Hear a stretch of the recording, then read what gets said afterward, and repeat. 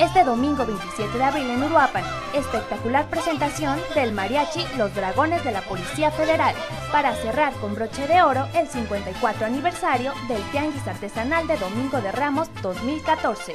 Te esperamos este domingo 27 de abril a las 5 de la tarde en el Monumento a la Bandera en el Centro Histórico de la ciudad. Entrada libre. Invita el Honorable Ayuntamiento 2012-2015. Queremos compartir contigo una tradición muy nuestra. Uruapan nos une.